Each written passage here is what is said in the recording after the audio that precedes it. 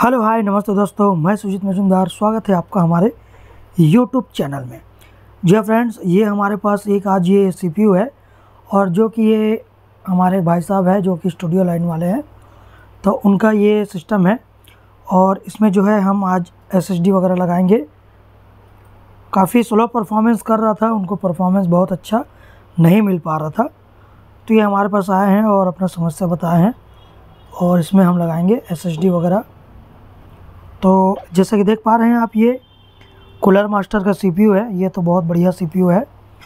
और एसएमपीएस भी आप देख पा रहे हैं कूलर मास्टर का लगा हुआ है और 600 वाट का लगा हुआ है। ठीक उसी प्रकार से इसमें ये रैम लगा हुआ है।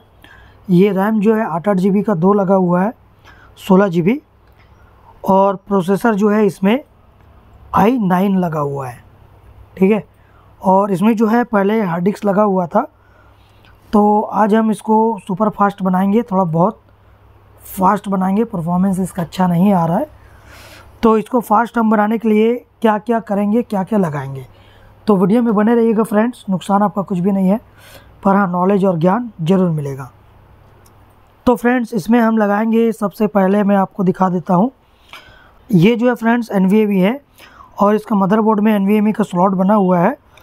तो आप अगर इसको लगाना चाहते हैं अपने सिस्टम में तो आपका सिस्टम को ज़रूर देखिएगा एन में लगेगा या एम डॉट टू लगेगा। तो जैसे कि मैं आपको दिखाने की कोशिश करता हूँ।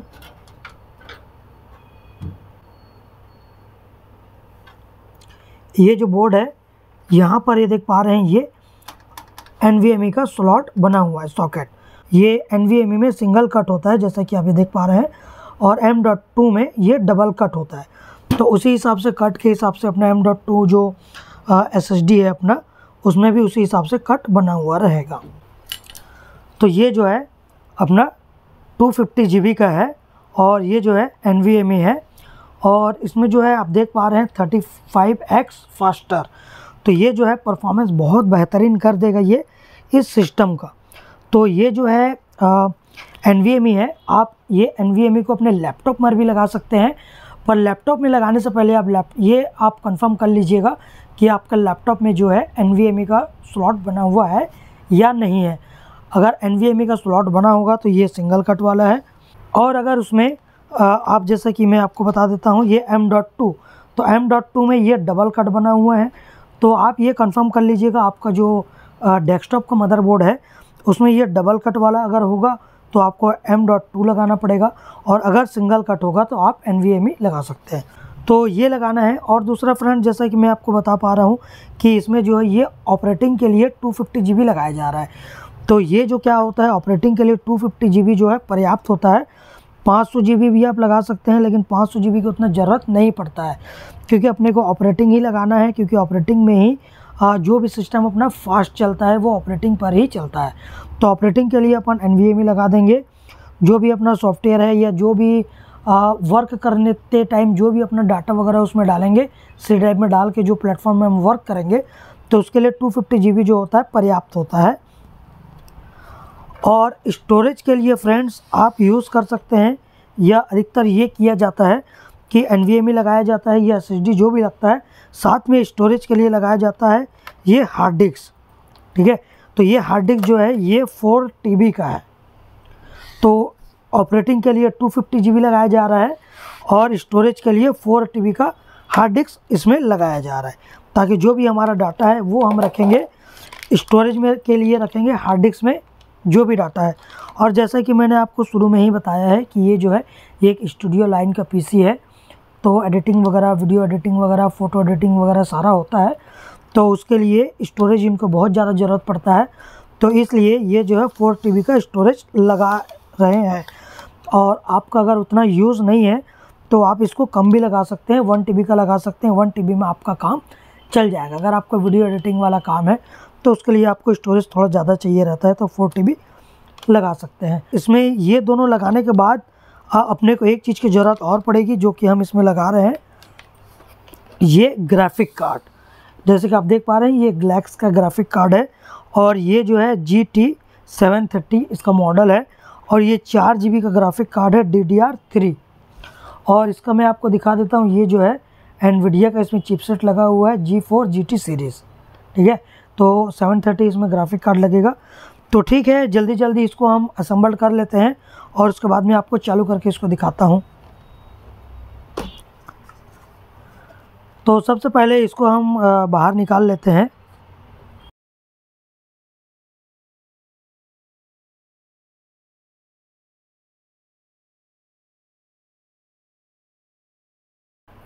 P C L E N V M E M dot two ये हमारा स्टोरेज के लिए ये फोर टी का हार्ड डिस्क है, इसको भी ओपन कर लेते हैं। वाह, देख पा रहे हैं।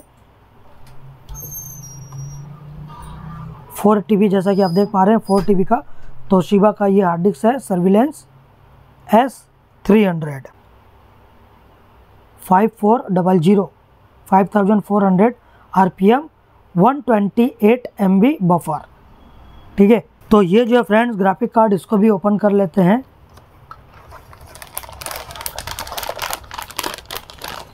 बॉक्स को कर देते हैं साइड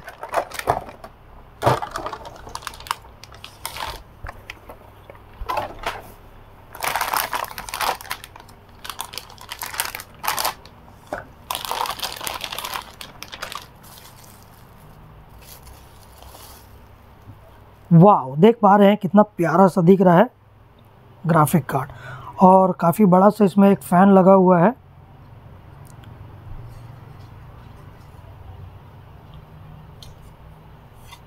ये अपना हो गया ग्राफिक कार्ड तो सारा पोर्ट इसमें दिया हुआ है एच डी एम आई और ए वी आई ठीक है? तो चलिए अब इसको सी पी में असम्बल करते हैं।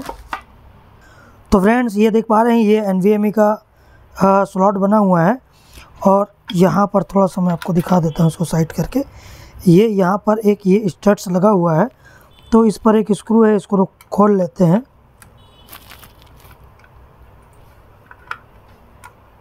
ये एन का देख पा रहे हैं, यहाँ एक ये कट बना हुआ है और ठीक उसी प्रकार से ये जो है कट यहाँ भी बना हुआ है। तो इस कट में इसको जो है बहुत ही आसान तरीके से डाल लेना है।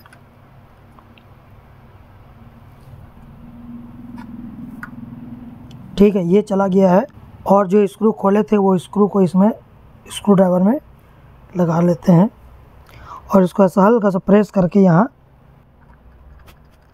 तो ग्राफिक कार्ड का जो स्लॉट होता है, ये ग्राफिक कार्ड का स्लॉट है। तो इसको हम ग्राफिक कार्ड को यहाँ लगा देते हैं। तो ये अपना ग्राफिक कार्ड है। इसको लगा देते हैं यहाँ पर। ये वायर जो खोले थे, ये वायर को लगा देते हैं। सीपीयू फ़ैन का वायर है।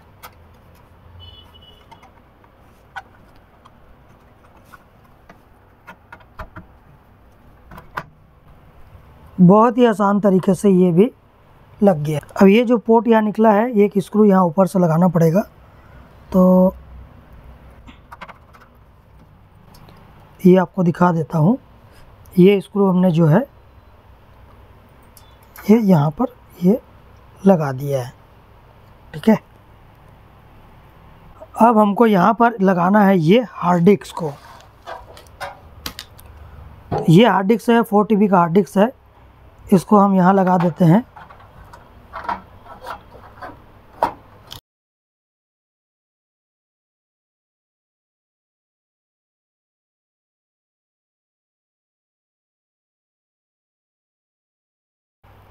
अब हार्ड डिस्क का कनेक्शन कर देते हैं। ये हार्ड डिस्क का ये पावर केबल।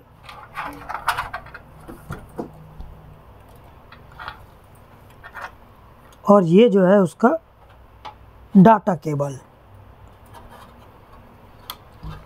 ये हमारा कनेक्शन कर लिए हैं। अब इसको जो है एक बार पावर बटन प्रेस करते हैं।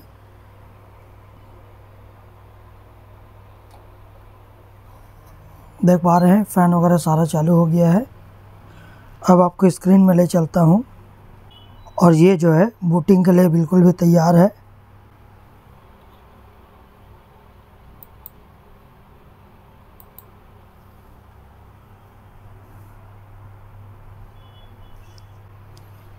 और ये जो फ्रेंड्स, बूटिंग के लिए हमने पेन ड्राइव लगाया हुआ है। जैसे कि मैं आपको दिखा देता हूँ। ये देख पा रहे हैं, अपना पेन ड्राइव लगा हुआ है। और उसी से ही ये अभी बूट हो रहा है।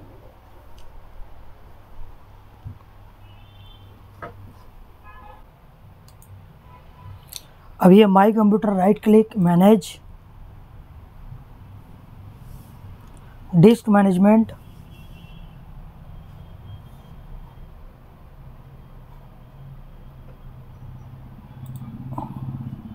और ये जो आप देख पा रहे हैं ये जो है आ, दिखा रहा है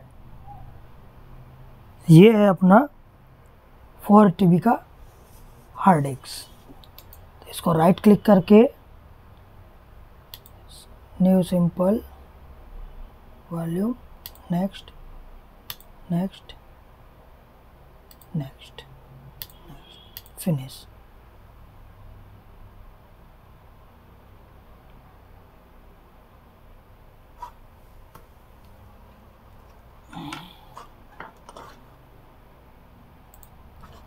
अब माई कंप्यूटर में डबल क्लिक तो यहाँ आप देख पा रहे हैं, ये अपना एन वी है, जो कि two thirty two G B दिखा रहा है। और ये जो है अपना three point six three T B देख पा रहे हैं, ये जो अपना हार्ड डिस्क है। तो ऑपरेटिंग के लिए ये हो गया और स्टोरेज के लिए ये अपना ये हो गया। बहुत बढ़िया। तो फ्रेंड्स वीडियो अच्छा लगा हो तो लाइक शेयर और कमेंट ज़रूर कीजिएगा। अगली बार फिर मिलेंगे नया कुछ जानकारी के साथ, नया कुछ अल्टीमेट के साथ। तब तक के लिए फ्रेंड्स जय हिंद।